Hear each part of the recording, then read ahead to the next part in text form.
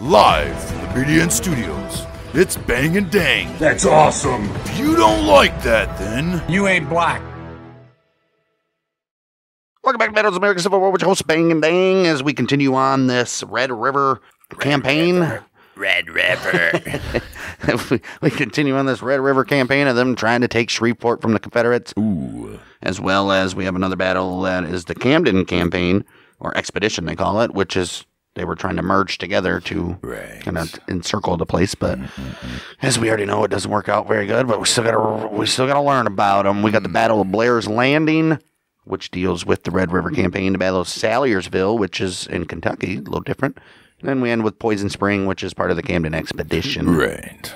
Before that, go check out our YouTube at Bang Dang Network. Shorts, clips, exclusives, our exclusive Dart League that's going on as we speak. And go comment on our Spotify, give us a review, Apple. All right. Uh, Battle Blair's Landing coming up first, April 12th, 1864, which saw Confederate Cavalry Artillery Force commanded by Brigadier General Tom Green, RIP. You'll see.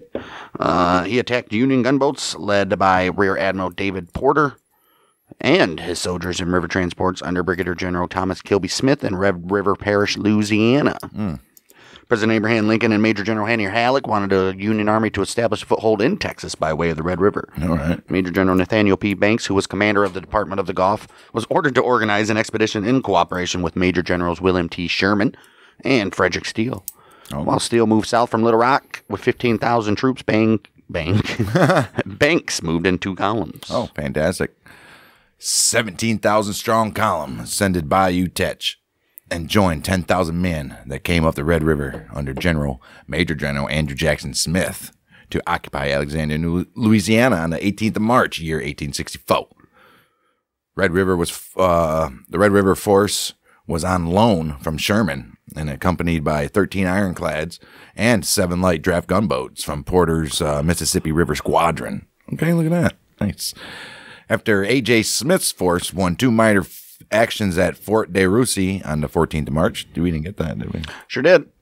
Did we do Fort De Russy? Mm-hmm. Nah, I don't think we did. We did. And also Henderson's Hill on the 21st of March. Banks' army started marching upriver and reached Natchitoches on the 2nd of April, year 1864. Sure did. Meanwhile, Porter started upriver with six gunboats and T.K. Smith's division of the 17th Corps aboard transport. They planned to meet with Banks' army at Springfield Landing, which was 110 miles below Shreveport. Oh, However, Major General Richard Taylor, who's a Confederate, Oh. he drubbed the Union Army at the Battle of Mansfield. Yes, he did on April 8th, forcing Banks to retreat. Reinforced now, Taylor attacked Banks again at the Battle of Pleasant Hill on April 9th, but it was also repulsed. Oh, but he was repulsed, right? Right. Nevertheless, Banks withdrew to Grand Ecore near Natchitoches on the Red River. well, that didn't quite work out for the guy, did it? didn't. April 7th, Porter, T.K. Smith, they left Grand Ecore and headed upstream on the old Red River.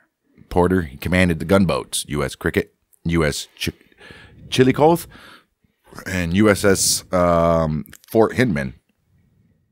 Also USS Lexington, USS Neosho, and USS Osage. Osage. Right. Uh, the last two being monitors. They were. Which was Neosho and Osage. That would have been the last two. Yeah. Right. Uh, there were also several auxiliary vessels as well. T.K. Smith, he led 2,500 Union soldiers on 20 riverboats. Um, river transports. Oh, just like little, Transports, man. right? Water level in the river was low, causing the naval vessels to proceed at a slow pace. That very day, the expedition reached Campti, where it briefly landed a regiment to clear the town and anchored for the night. He's like, You go clear that town while we anchor. We're going to anchor. April 8th, the expedition reached Coushatta Point, where it anchored for the night. Colonel Lyman M. Ward's is too close to Hyman, but uh, his brigade was sent ahead by land to chase away a Confederate force reported three miles farther ahead at Coushatta Chute. So there's a point and a shoot of Coushatta. All right. April 9th, the vessels advanced as far as Nine Mile Bend before anchoring for the evening. All right. April 10th, the expedition reached the mouth of Loggy Bayou, which was near Springfield Landing, where they found the Confederates sank the riverboat New Falls City loaded with bricks and mud athwart the channel. Oh. While they pondered what to do, a courier arrived from Banks saying his army was defeated and fallen back to Grand Ecore. Oh. Porter and T.K. Smith decided to obey Banks' verbal instructions to return to Grand Ecore as well. They're like, well, shit. Right. Came all the way up here for nothing. You ain't kidding.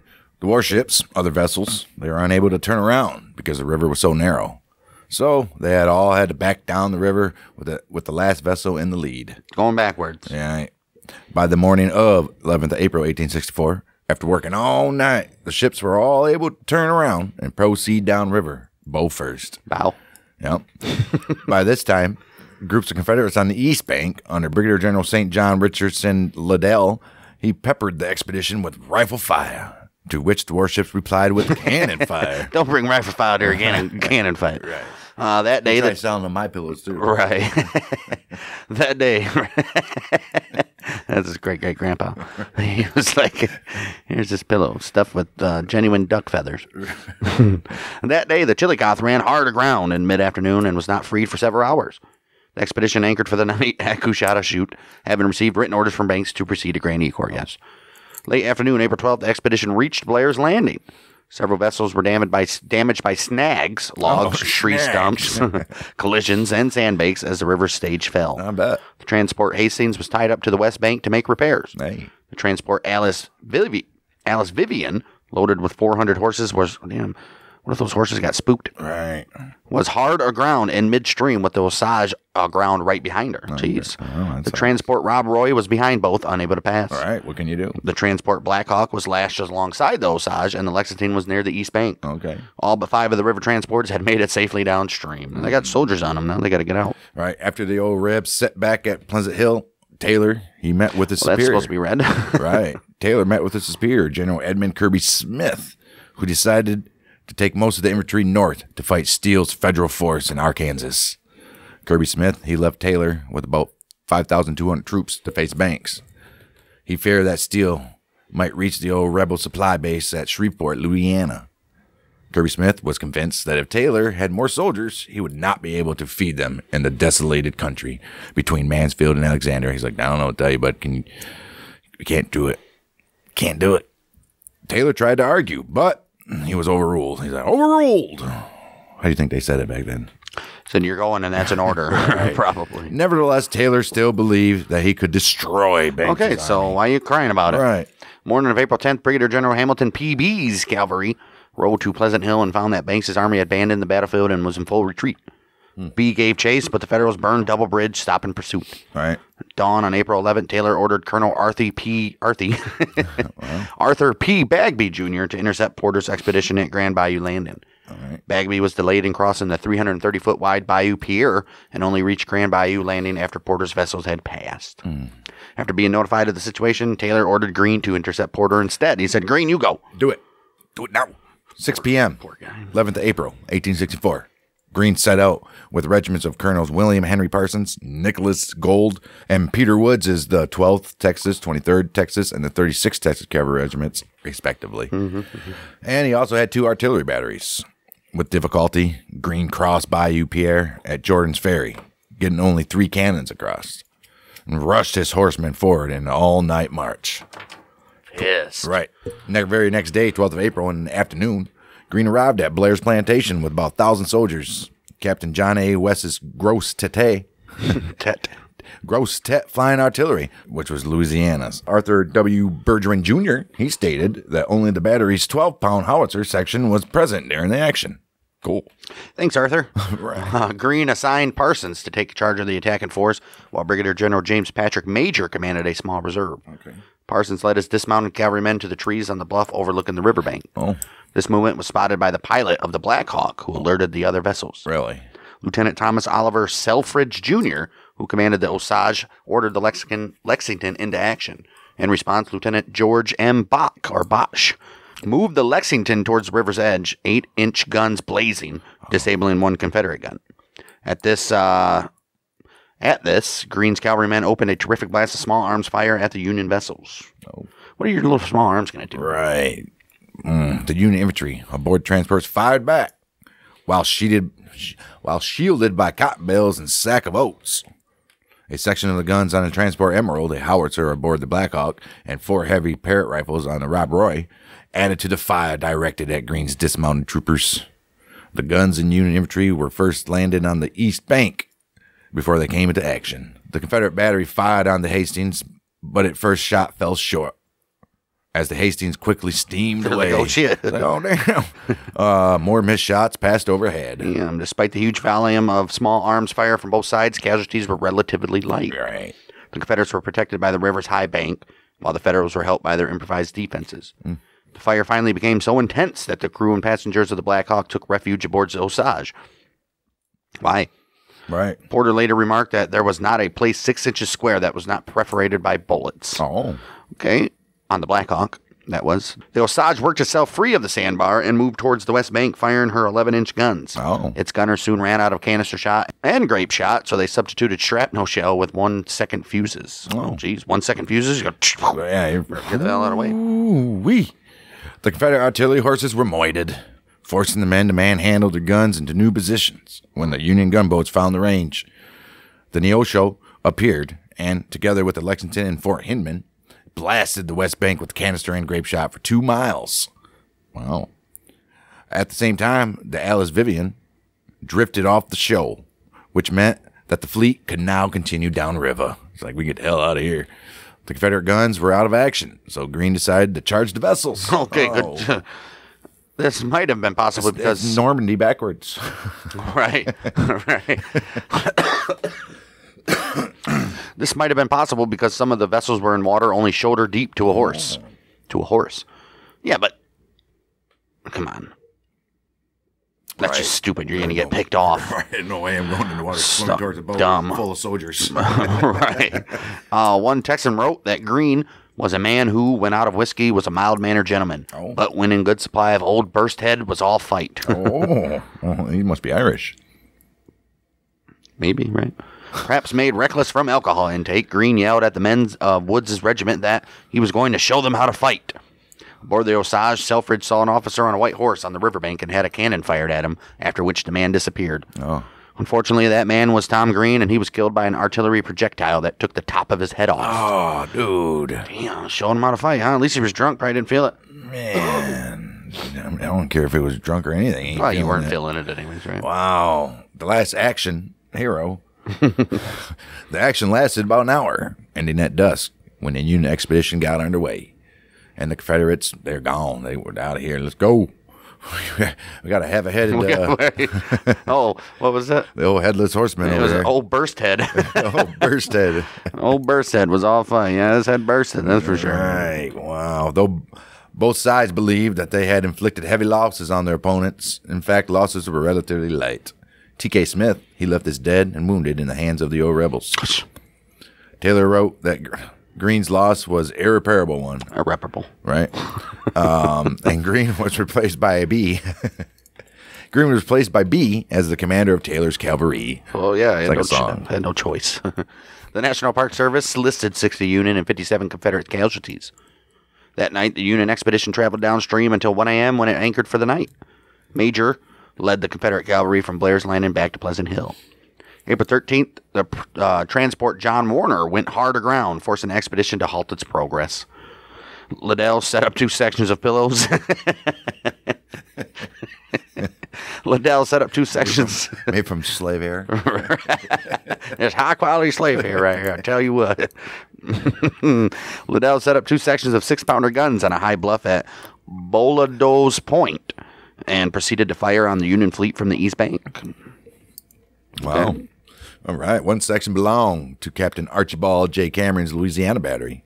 The distance was too great, cavalry guns too small to do any damage. Nevertheless, fearing that a lucky shot might set off an ammunition explosion, Porter and T.K. Smith sent most of the vessels downriver, headed by the transport of the Sioux City. At the very same time, the Osage fired at Liddell's guns, silencing them. Hearing the expedition was in trouble, Banks sent a A.J. Smith the phenomenal one with two brigades, two batteries, and some cavalry to the east bank at 4 p.m. on the 13th of April. After a 12 mile march, these troops reached Campti, wherever that is, found, found most of the fleet, and drove away Liddell's forces. Upstream, the Fort Hindman finally succeeded in pulling the John Warner free. Meanwhile, the transport Iberville grounded near Campti, and the John Warner stopped to help. These last two stragglers caught up to the rest of the expedition at Grand Ecore April 16th. A witness recalled the expedition's vessels were riddled and their smokestacks looked like pepper boxes. Damn. When they left Campti, A.J. Smith's troops burned the town to the ground. They said, "Screw you, talking about our smokestacks. right. Dang, dude, a dude's head got chopped in half. he did. Holy well, goodness. More, not even uh, The top a little more brutal than chopped. Jeez. yeah, that's, that's a battle for you. Man, can you imagine? no. All I can picture is that scene from uh, Twister when they're in the uh, when the little uh, flying the the, the uh, hubcap. hubcap, yeah. It's that dude on the forehead. It's basically what You'll be all right. Right. You'll be all right. No, he's gonna die. it's like. I'm going home, Bailey. She needs you more than I do. It was you, Joe. it's right in front of you. How long? Uh. Oh, R.I.P. right.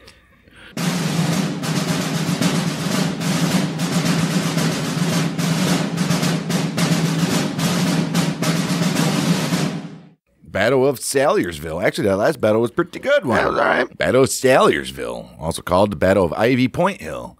Not to be confused with the Battle of Ivy Mountain, obviously not, because it's Ivy Point Hill, which took place in April of 1861. We did that one, I believe. Of course we did. Yeah, also uh, called the Battle of Half Mountain, and it was the largest of many skirmishes in Magoffin County, Kentucky, during the Civil War of the Americans. Good for them. Year 1864, April. Confederate Colonel Ezekiel F. Clay led his regiment of mounted infantry on a road to Kentucky. I think that's a movie, right? Road raid to Kentucky. Uh, oh, yeah. Even that, way too. Right. Uh, on a raid to Kentucky. On a road as well. A road to the raid. He was opposed by the forces of the subdistrict of Eastern Kentucky under Union Colonel George W. Gallup, consisting of the 14th Kentucky Infantry and the 39th Kentucky Infantry, and reinforcements under Colonel C.J. True, consisting of the 40th Kentucky and the 11th Michigan. Those are Michigan boys in there. Uh, some Michigan cavalry. April 13th, 1864, the Confederates attacked the Union position at Paintsville, but Colonel Gallup's 750 men held their position. April 14th, Clay and his exhausted troops and horses were trying to rest near the mouths of the Puncheon and Little Half Mountain creeks. Colonel Clay didn't think Colonel Gallup would pursue him, but that turned out to be a costly misjudgment. Yep. Some believe that Gallup was led by a young lad, young lad, I guess, from Puncheon named Lade. Oh, Lade would be a girl. Uh, Puncheon named Liza Whitaker through Ivyton and down Gun Creek to Brush, Brushy Fork. Okay. Colonel Gallup split his. Okay, good for Liz, Liza Whitaker. Right. Was she like the Sacagawea to uh, Gallup? Colonel Gallup split his troops at Brushy Creek, sending 300 with Orlando Brown down the ridge of Little Half Mountain while leading the rest down the Fred Risner Branch. Is this supposed to be a ranch? but they serve breakfast. Right. it's a breakfast ranch. Yeah. Call it a branch. and a move that trapped. Right, Breakfast and lunch. So a branch. You can brunch. Let's move trap Colonel Clay and his troops. Colonel Gallup was assisted by Colonel John S. Dills, Colonel David A. Mims, Lieutenant Colonel Stephen Meek Furfison. Don't know if that's supposed to be a G, but whatever kind of name is Furfison. Right. Uh, Lieutenant E.J. Roberts, Acting Assistant Adjutant General Colonel Orlando Brown, and Captain John C. Collins, who claims to have shot Clay. Well, we know Clay gets shot. Oh wow! Near the end of this battle, Clay was shot through the eye and had to remove himself from the battle. He's lucky he didn't he could remove himself from life. I'm about to remove myself from life, guys. Peace out. Colonel Clay was Through the eye, and he survived, huh? Right. He was eventually captured and taken to an Ohio prison by Elijah Patrick, where he was finally pardoned by President Lincoln near the end of the war. Mm-hmm. Clay refused to accept the pardon and waited for the war to end to gain his freedom. Look at him. CSA suffered casualties of 60 men, 200 horses, 400 saddles, 300 small arms were taken as well. Ooh. The United States sustained only slight losses. That's a lot of, uh, Yeah. oh, well, nothing compared to what the unit have lost during this Red River campaign, Crazy amounts. which we're about to see more.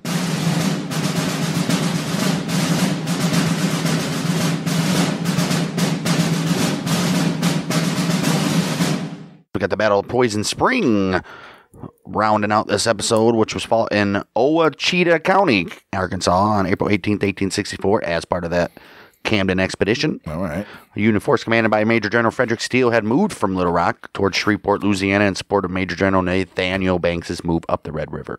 Low on supplies, he sent approximately uh, 1,100 men under the command of Colonel James Williams on April 17th to search for food. He said, "Do we need some food?" Ooh, baby. They're gonna go any town they come across. They're pillaging and raping women. Yes. Maybe not the last part. Definitely the first part. Maybe. Williams's command consisted of the 1st Kansas Infantry, which were colored, 18th Iowa Infantry, which are whiteys, four black cannons, they probably were. and elements of several cavalry regiments. Elements. Just a little know. bit, We little got bit of A some. little bit of cavalry. We got a we got a saddle over here. There's a there's a, There's there's they call the harness for the horse over there. right. There's a uh, a horseshoe for some reason. some oats. The Confederates learned of the supply train and sent a force composed of Marmaduke's cavalry. He's a pretty good guy, or I don't know about good guy, but he's he's, he's been a pretty good little uh, General, yeah. yeah for these guys, and also a brigade commanded by Brigadier General William L. Cabell. This force was later augmented by Maxey's uh, Confederate division, giving the old Rebs a total strength about 30,000.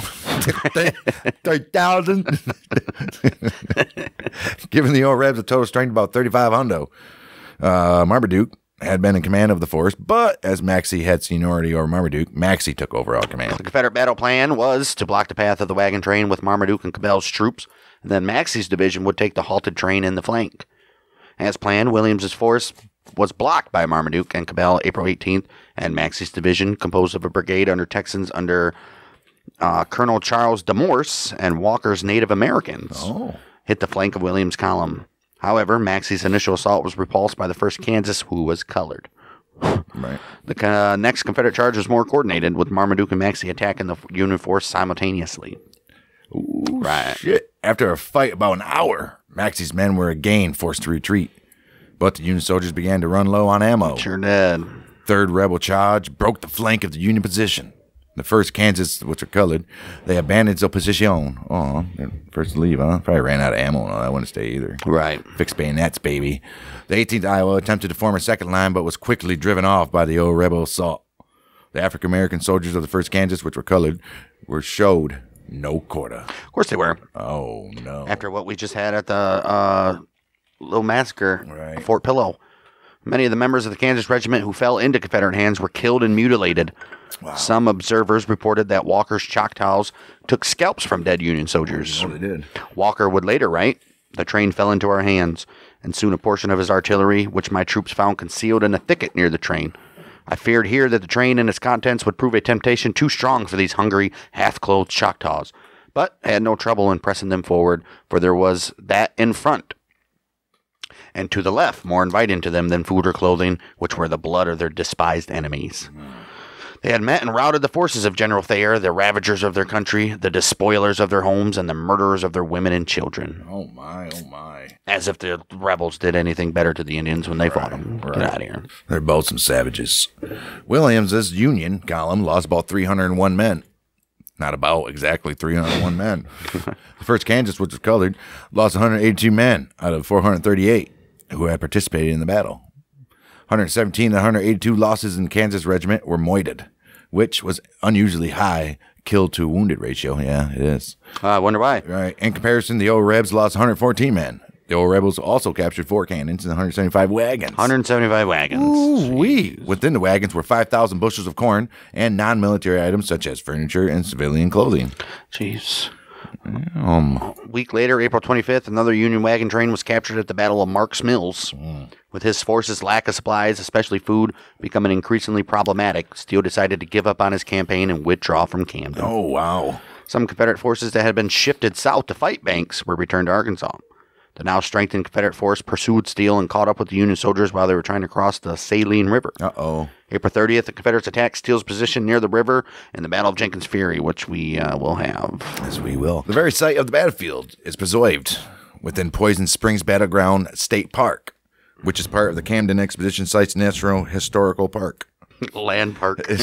Camden Expedition Sites National Historic Landmark. The state park is located 12 miles from Camden, Arkansas, and includes 84 acres of battlefield. Can you walk that 84 acres? I would assume so. That'd be badass field. The Camden Expedition Sites National Historic Landmark, which includes the Poison Spring Battleground as well as other sites related to Steele's campaign, Right. is listed on the National Register of Historic Places in the year 1994. Good for them. Right. Well, Look at that a little decent battle. Uh, the Rebs had to win that one, right? Yes, sir. Obviously. That's going to wrap up these three battles in this episode.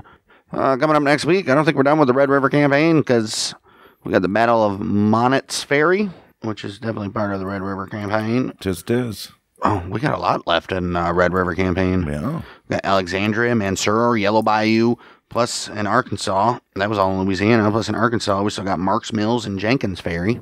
Hmm. That's a decent little one. Probably have that. That'll do. Marks Mills, like I said.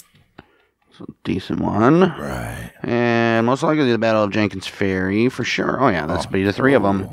Oh, We got the Battle of uh, Monnett's Ferry, Battle of Marks Mills, and the Battle of Jenkins Ferry coming up Right. next. Monet. Monet. Uh, we. What was I say? Are we ever going to go back to freaking Virginia and them?